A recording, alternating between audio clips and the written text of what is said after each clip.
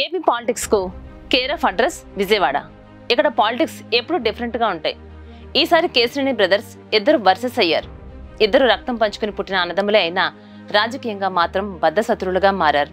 విజయవాడ నుంచి ఒకరు టీడీపీ తరపున మరొకరు వైసీపీ నుంచి పోటీ చేస్తున్నారు. ఇక అసలు విషయానికి వస్తే ఒకే ఇంట్లోని ఇద్దరు వ్యక్తులు అది కూడా సొంత సోదరులు కేసినేని నాని కేసినేని చిన్నీలు. రెండు వేర్వేరు పార్టీల నుంచి ప్రత్యర్థులుగా ఎన్నికల బరిలో దిగుతున్నారు. దీంతో నాని చిన్ని పేర్లు ఏపీలో మారుమోగుతున్నాయి గతంలో టీడీపీ ఎంపీగా ఉన్నటువంటి కేసినేని నాని వైసీపీలో చేరడంతో ఇద్దరి మధ్య మరింత రాజకీయ వైరం మరింత పెరిగింది. ఒకసారి కేసినేని చిన్ని లైఫ్ స్టోరీ చూస్తే గనక విజయవాడ ప్రాంత వాసులకు సుపరిచితుడు. బుద్ధి స్వభావి కష్టపడే తత్వం అతని సొంతం.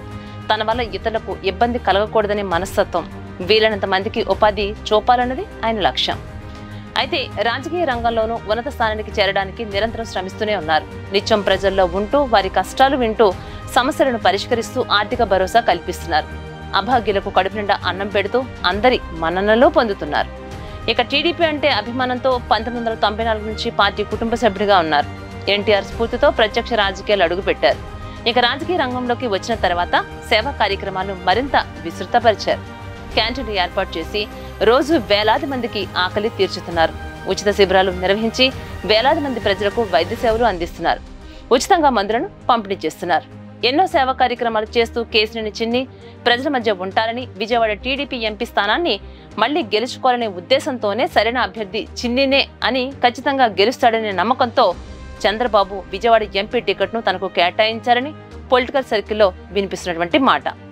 ఇక విజయవాడ లోక్సభ స్థానాన్ని కైవసం చేసుకునేందుకు అటు ప్రతిపక్ష టీడీపీ వైసీపీ అగ్రనాయకత్వం తమ తమ వ్యూహాలకు పదును పెడుతూ పక్కా ప్రణాళికలు రచిస్తూ ముందుకు వెళ్తున్నాయి.